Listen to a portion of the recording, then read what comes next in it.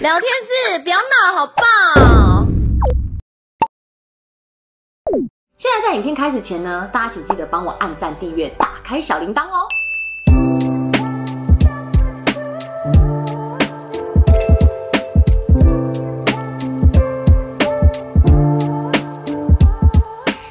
大家好，我是阿菜。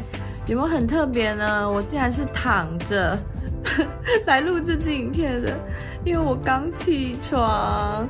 然后呢，我现在在我的隔离饭店里面。这次的隔离饭店，哎，我，嗯嗯，我我有穿衣服。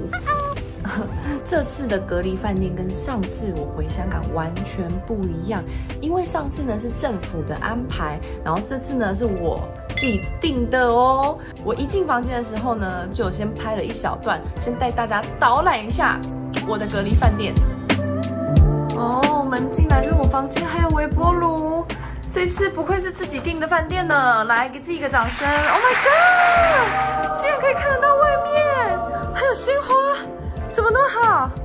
天哪，难道是爱慕者吗？没想到一来到香港就有许多的爱慕者了，谢谢大家。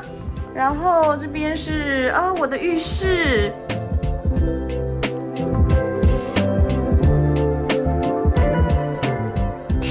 竟然还可以选餐点，我真的太惊讶了。所以今天呢，要来带大家看说，在香港饭店隔离。都吃什么？请容许我先换一件衣服，要不然穿这样录实在是太闹了。好了，先给大家看一下，因为我现在穿的就是一个可爱甜心小睡衣，糖果般的小睡衣，好吗？然后这次我并没有带那个相机回来，我会等团队到这边之后呢，才会用相机开拍，所以画着大家就只好不要介意喽。好了，我们已经换完衣服了，虽然不是甚好，就是穿了一个类似有一点阿妈的碎花裙，但你们不要小看这个碎花裙，其实穿起来是非常漂亮的。OK，来，让我来跟大家走个秀。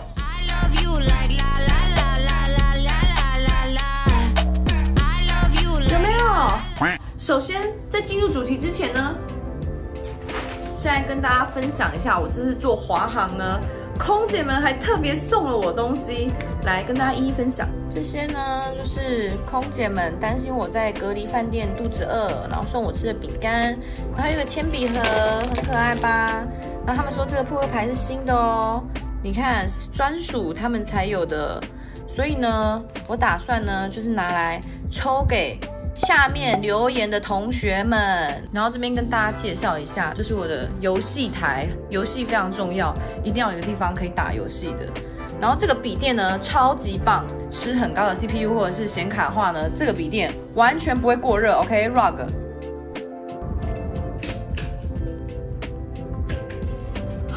我很讶异，它竟然有这个 menu。你看它的 menu 是长这个样子，然后还有。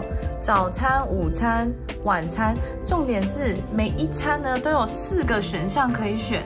像早餐呢，它就什么环球早餐、亚洲早餐、素食早餐、欧陆式早餐，甚至啊，我那天到呢，刚好是吃，我是礼拜二到的，烤大虾配龙虾忌廉汁，然后还有意粉，意粉就是意大利面的意思啦。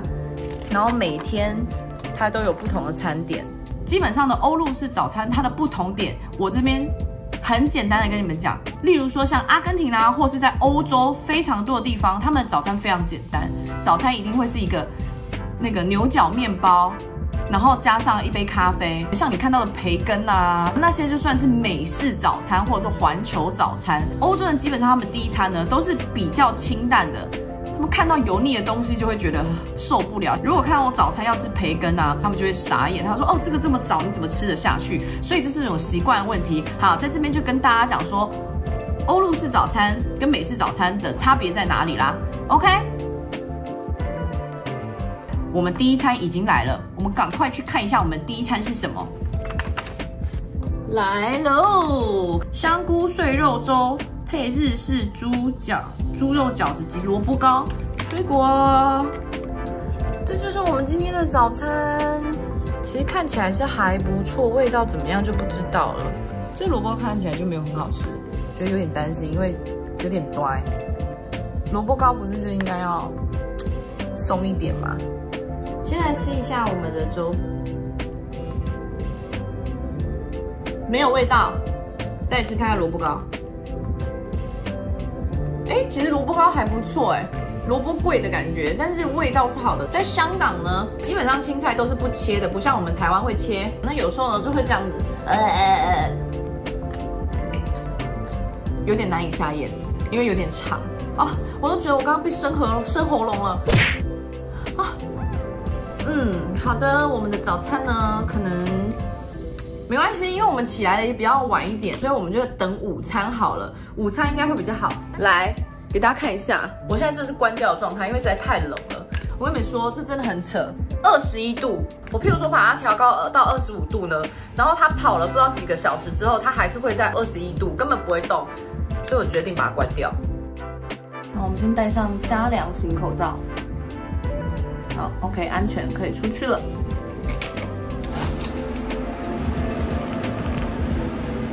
午餐呢，就是有鳕鱼加上面，然后加上一些蔬菜，然后又另外一个鳕鱼，嗯，味道是不错的，可以，很像健康餐的味道。鳕鱼是很好吃的，完全不老，而且还有那种嫩感很够，有一种五星级饭店的感觉。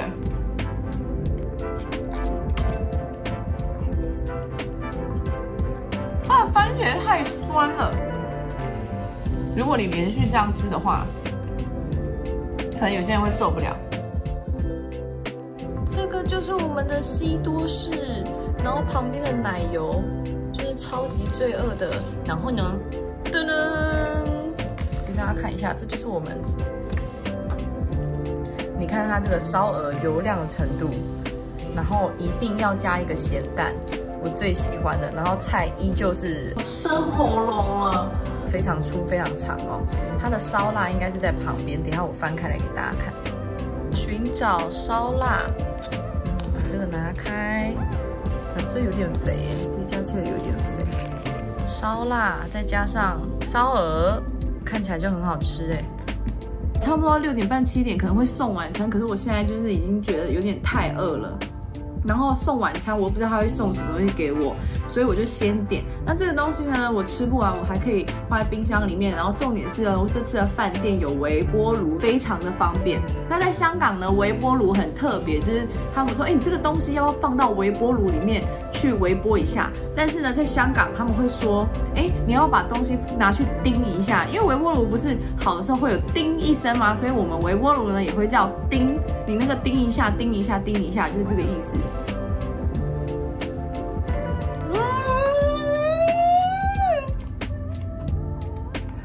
哦，my god，還是很好吃而且你看它里面的花生酱，嗯，就是这个味道，我要哭了，超级满足的。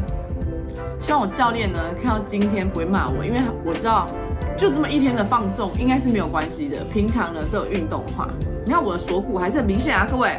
OK，没关系，说服自己。两年没吃到了啊，一咬下去。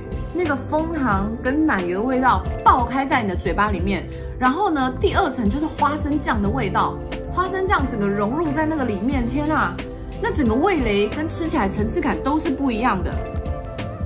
嗯，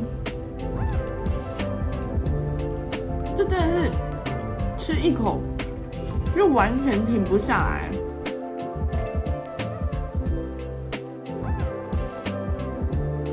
饭感觉好像有点饱，这好像可以放到晚上再吃哎。先吃个几口好了。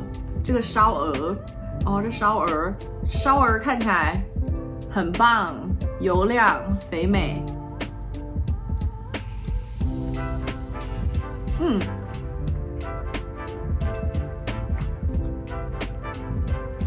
这一间的烧鹅还好。它的叉烧也还好，味道都是很好的，但是我觉得那个部位没有到很好，就比较偏肥。但是它它的那个饭量是很足够，所以喜欢吃饭的朋友们会觉得很开心。吃播 YouTuber，我到底能不能当呢？可以的话，帮我打个没问题，在下面留言给我。不可以的话，帮我打个阿菜，你还是算了吧。就是很多台湾朋友就是问我说，哎，为什么你都要拿叉子，不拿筷子？哎，这个我是有讲过吗？我有点忘记了。因为其实，呃，像我身边的很多马来西亚的朋友、新加坡的朋友或印尼的朋友，除了吃就是中式餐点，我所谓的中式餐点是，譬如说像台菜或什么之类的，会拿筷子，但很多很多的时候，其实他们是用叉子跟汤匙，就叉子跟汤匙来对他们来说是，嗯，怎么讲？就大家比较会用的，就是新加坡、马来西亚的朋友，然后还有印尼的朋友，如果你们看的话，也可以哎告诉大家一下。至少我身边的马来西亚朋友就喜欢用汤匙跟叉子比较多。OK，好了，我觉得我已经进到我西多士吃完的，然后这个吃快完，但因为它太肥了，所以就差不多这样子。我觉得。我晚上应该是吃不下，这就当我的晚餐好了。不过一样，我还是会拍他们送过来晚餐给大家看。哎，等一下，哎，我们刚吃的太开心了，完全忘记它有汤在这边。我赶快先喝一口，它今天的那个今日本日汤是什么？嗯，很清甜，非常经典，感觉是去湿热的那种感觉。除了西多士，这个不能讲，因为那个是有情怀以外，我觉得它的汤第一名。第一名，今天三个东西里面非常出色的汤真的很好喝。OK，这就是我们的晚餐，我们现在要来开箱一下我们的晚餐喽。哎，打不开，嗯，我就一只手。这跟男生单手接女生内衣的感觉是一样的吗？哦，这就是我们的新洲炒米，你看一样。这个青菜永远就是最大把的，然后新洲炒米，看一下，感觉有一点干的感觉。虽然我们非常饱，不过我们还是要来吃一口，看看到底好不好吃。来吧，它这个看起来颇干呢。嗯，但米粉味道很好哎，味道真的是不错的，给它一个赞。这家酒店叫做 Lanson Palace Causeway Bay，我住在铜锣湾。我觉得这家酒店的餐点真的是蛮不错的，然后房间又很舒服，可能价格会稍微高，比其他地方高一些些。我刚发现一件非常惨的事情，就是我刚不是吃完那一餐嘛，然后我这件衣服就有一点紧嘛，从这个地板上爬起来的时候就咔嗒一声，那我发现。我的衣服直接炸裂！你看那个西多士多厉害，吃完那个西多士，衣服直接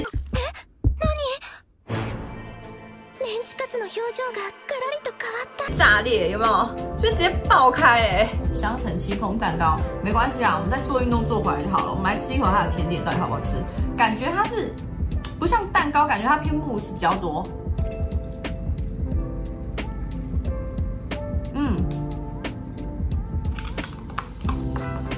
飞机上的甜点，而且过甜，超级甜的。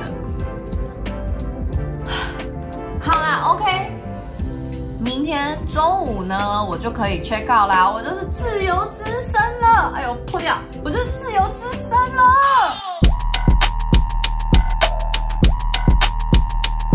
一天防疫旅馆餐点就到这边啦，好不好？那希望出狱之后呢？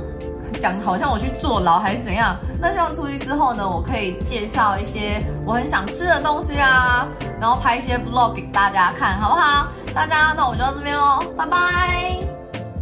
这么好的频道，是不是该按赞、订阅、打开小铃铛，然后呢，把影片分享给你所有的朋友们？吃美食跟旅游的小配博，我跟你讲，全部靠我了。